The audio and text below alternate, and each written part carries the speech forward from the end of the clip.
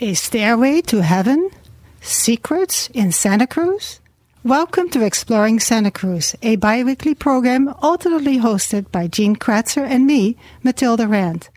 We will take some phone calls at the end of the program for listener comments and stories. The number will be 900 5773. In today's program, we will discuss the book Secret Walks and Staircases in Santa Cruz by Debbie Bulger and Richard Stover. Debbie Bulger has lived in Santa Cruz for over 30 years. She is the author and editor of many publications and brochures, including the memoir In the Thrill of the Night and Other Tales from a 50s Childhood. Since retiring from a healthcare career, she has advocated for pedestrian safety. Richard Stover has lived in Santa Cruz for almost 40 years. His background in physics and astronomy gave him the skills to utilize data from the OpenStreetMap project to create the maps contained in this book. His photographs have been published in the Ventana and the Desert Sage. He's retired from the Lick Observatory. Welcome to the program, Debbie and Richard. Thank you. Thank you. The first question, of course, is what made you write this book? Probably my interest in pedestrian issues in Santa Cruz and walking. About 20 years ago, we started walking for transportation rather than driving everywhere. And uh, I also served on a number of city and county committees dealing with pedestrian issues. For example, the Master Transportation Study and the Mission Street Widening Task Force and the Active Transportation Committee for the city, actually, and the county of Santa Cruz. So, all of those things contributed to the idea behind the book. And as we started uh, walking more, we discovered all of these wonderful passageways and stairways and just the exciting Santa Cruz and all the wonderful things that you can see when you walk. Fantastic. Anything to add, Richard? Well, as Debbie has described, she's really been the driving force behind this uh, the entire time and has been involved in the pedestrian issues for, for many, many years. And so we've always gone on on uh, walks in the, in the area. And as Debbie mentioned, we've tried to do more and more walking instead of driving. So it was just kind of a natural thing. And you know, when we started talking about the book, and Debbie wanted to was had ideas about it, and I said, well, maybe I can help to make the maps and things. And so it's just sort of built from there. Great. So actually, that brings me to my next question: Is how did the two of you collaborate on on secret walks and staircases in Santa Cruz? Um, we each sort of took different areas uh, of expertise. I wrote the text and initially set the the plan for the different walks, but then we did the walks and then we together collaborated as we walked through the areas, maybe changing some of the routes and looking at the, the areas. Richard is a computer whiz, uh, in my estimation, and uh, was able to create the maps through his magic on the computer. And he also was a very good photographer and took most of the pictures. So we sort of worked side by side and we also worked together on the different issues. Right, and of course, some of those photos in the book are, of course, about the different buildings and staircases and things we can see. But there are also little vignettes of beautiful plants in between the chapters. And that I thought was a really nice addition to it. And I assume both of you worked on that. I think you did this with Photoshop or something, Debbie, after a photo was taken. Yes, I did the layout and the design of the book using Photoshop and also InDesign for the for the layout. As we did the walks, we pointed out often to each other the different things that we saw when you walk, you see so much more than you can see from a car and even from a bicycle. And so there were all these plants, interesting plants and animals all about us. And I've long been a member of the California Native Plant Society and also the Sierra Club. So we're used to looking around us at the plants and animals that join us in this wonderful place, Santa Cruz. Now, the big question that people may have in mind is how long did it take you to write this book? oh, I think we started about six years ago with the idea. and, you know, sort of slowly worked on it, looked at the different routes and things, and, but really got into completing it, doing a lot of the work once we got into the pandemic and basically couldn't do much else and just work at home. And this was a perfect opportunity to put all our energies into doing this instead of just going crazy stuck at home. It took about a year just to figure out where we would do the routes, what the actual walks would be. I wanted them to be as much of a loop as possible so people could end up where they started and could see new new things along the way. But when you also do a walk out and back and it's not necessarily a loop, you see different things on the way back. Things look different when you're going somewhere and then when you're coming back. And we learned that, I've learned that from years of hiking and navigating in the uh, Sierra Nevada mountains. We do a lot of backpacking. Mm-hmm. And uh, it's very important when you are not on a trail, when you're going cross country, that you look behind yourself as you go so you know what it looks like going in the other direction. That's actually a really great uh, observation. I noticed that too when I'm walking in the pinnacles. Thank you so much for pointing that out. And actually, I found that your the range of walks that you have in the book, there's quite a variety. And on top of it, I noticed that you say, okay, if you want to, you can then make this turnaround, but it's not exactly turnaround. It's still a loop. And I thought that was really magnificent what you did. So let me we, tell a little bit about the walk that I took, because of course okay. my friend and and I, my, we always walk, and she gave me the book, and somebody else gave the book to her. So she thought it was great for us to go and take a walk. So the first walk we did was walk number five. And at some point at walk number five, you get to the Chinatown Bridge, which of course recently, which is not in the book yet, but recently they erected the wonderful monument. And so we were observing it, we were commenting it, and so did other people. And then there were three women there, and they turned around and they saw us, and they saw us with the book in the hand. It was very funny.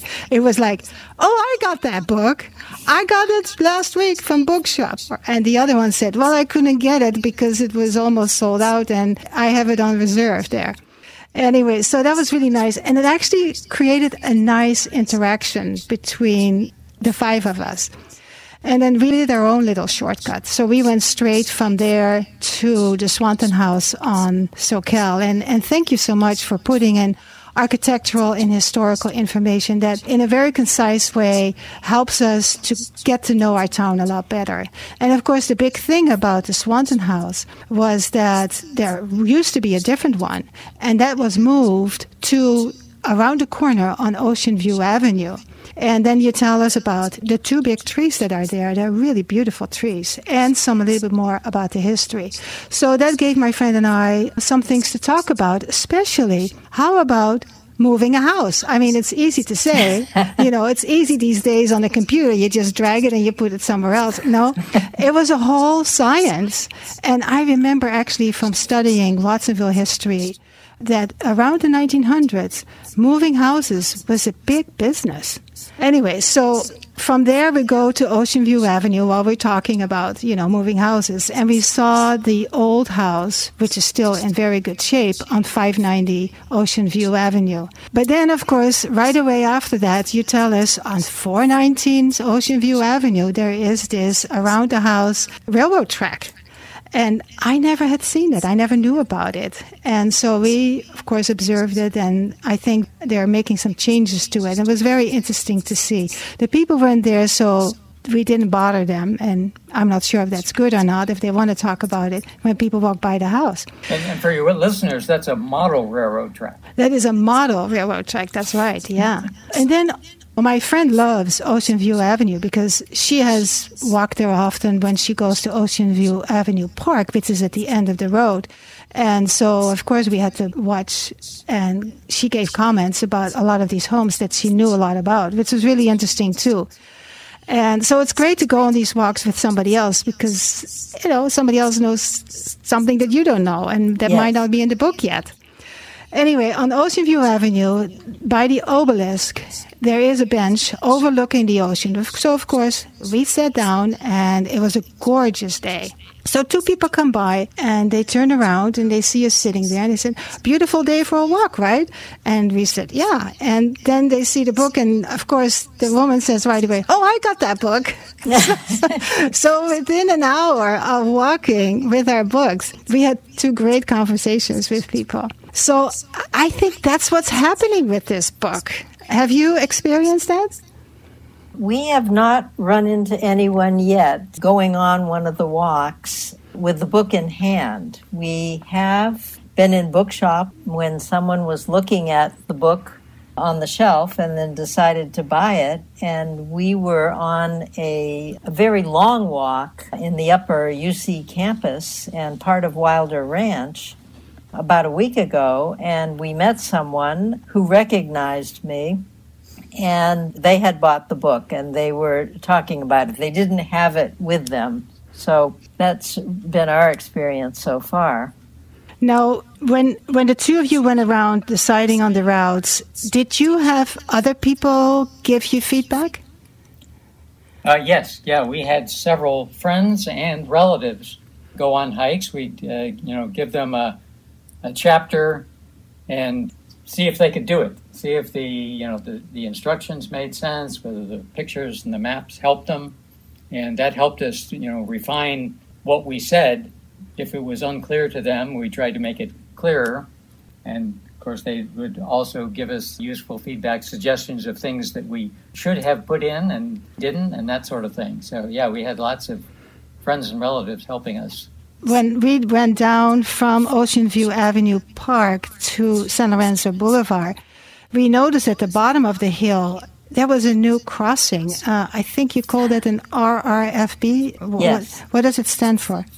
That stands for Rectangular Rapid Flash Beacon. But of course, that wasn't in the book because you have us go down safely on San Lorenzo Boulevard and then cross at Jesse Street. How are you dealing with changes that are happening in the city right now, and how do you feel about some of those changes?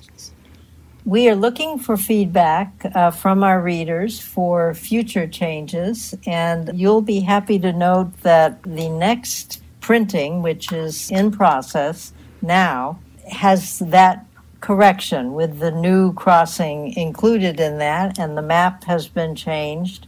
So you no longer will have to walk to Jesse Street if you don't want to.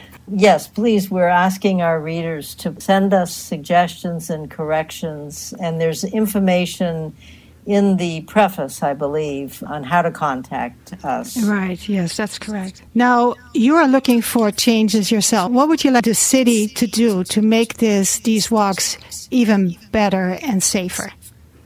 One of the things that we note is the signage, the street signs for, for people in the city. Many of the street signs are designed only for drivers. So if you're on a one way street, for example, the signs are only facing the drivers that are going the way that you can go on a one way street. But of course, a pedestrian can go both ways. That's a good example. Mm-hmm. Or on another one on the walk. I think the walk that you went on is the one where you go through the little park. Yeah. By the Barson. Uh, right. Yes. And you come out on the other side of the park and you you don't, don't know, where you what are. Street. That's yeah. right. There's no sign there. So there are quite a few intersections of pedestrian paths and streets where there's no signage. Bethany Curve is another example of a path that comes up from Westcliff near Woodrow. And you cross many streets. The pedestrian path crosses many streets, and there are no street signs. So it's hard to know where you are. You you could look it up on your map on your smartphone, perhaps if you have one, but otherwise you have no idea. Right. Yeah. I hope that the city will hear and that uh, people, because actually you're giving some advocacy hints in your book as well, uh, partly about making things safer and giving people a hint on where they can speak up you know, politely, but uh, speak up. Did you do that on purpose, the advocacy hints? How did you deal with that? Is that difficult to do, to tell people what to do? And did you like doing it? Well, my mother always said, the squeaky wheel gets the grease. and I believe that. And if people want to see something and some improvements for walking in the community, they need to let City Council members know, and also in the county as well. And that's why you're correct. I give addresses on page 258, actually, in the book on uh, how to send an email to the city or the county or how to report a hazard like uh, bushes overgrown on the sidewalk. So you have to go out in the street people then can participate in helping improve things for making walking safer. Right.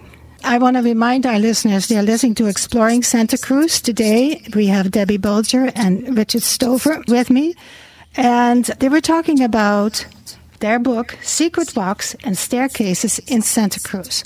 In the meantime, Debbie and Richard, there are a lot of pedestrian shortcuts which sometimes go really closely by a lot of homes. And so, would people living in that area mind us walking with our books through their living area? I don't know if people would mind or not. The fact is that many of these routes, they do go by homes but they're public access points. So they were created by the city or the Coastal Commission or other entities to preserve public access on those paths and staircases. Mm-hmm. So I may or may not mind if someone drives by my house in a car, and I may or may not mind if someone walks by my house on foot. But mm-hmm those are public access ways. Right. So I'm pointing that out. And sometimes there are signs that are very cleverly worded, and we have some pictures of some of those signs that sort of discourage people from walking by, but they don't say you can't do it. Right. You can do it, and it is legal. So those are probably put up by the people who mind, but others don't, I'm sure.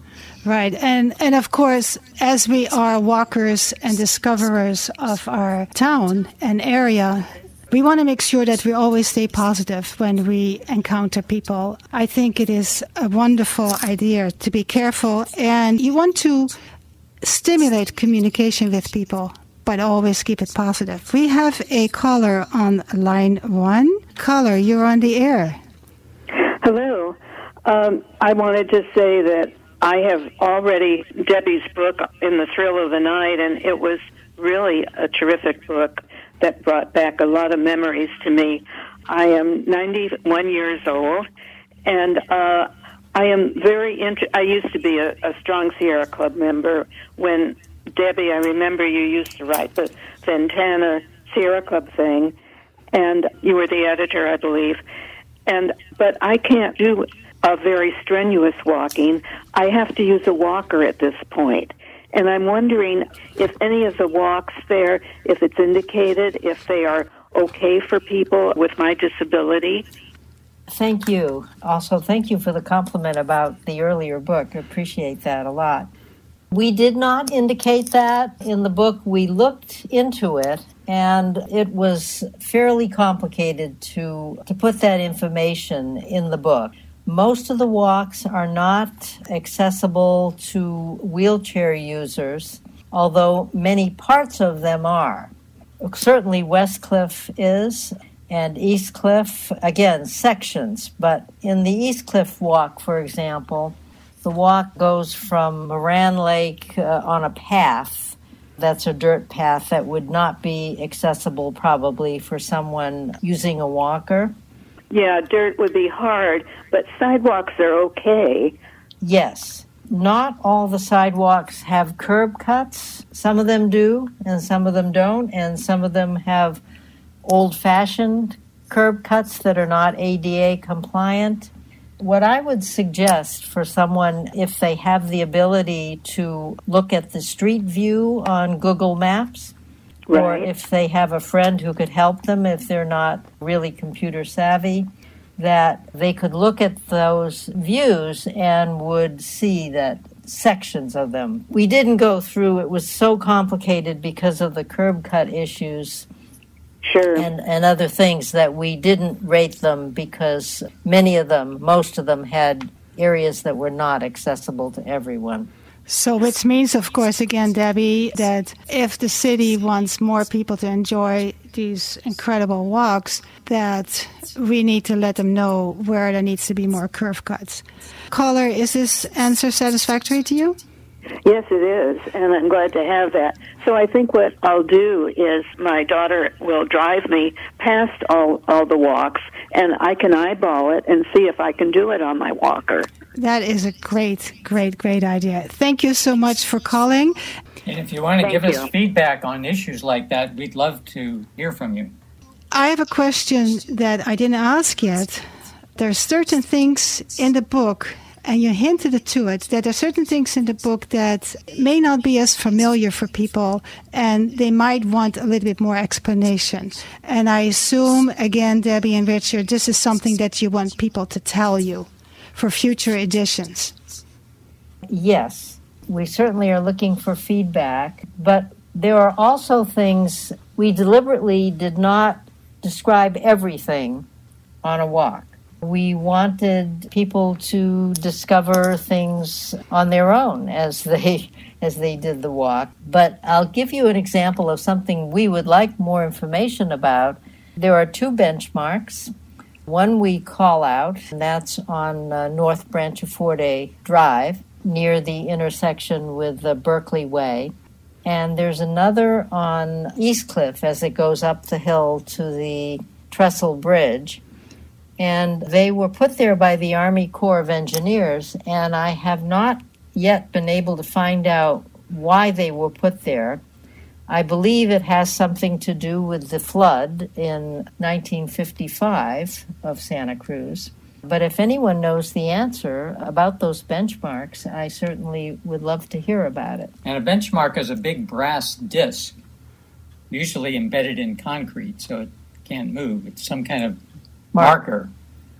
We we always find these often on peaks, on the tops of peaks in the Sierras, and it gives the coordinates and elevation of- of the top of the peak. But we're not quite sure what these ones are doing in Santa Cruz.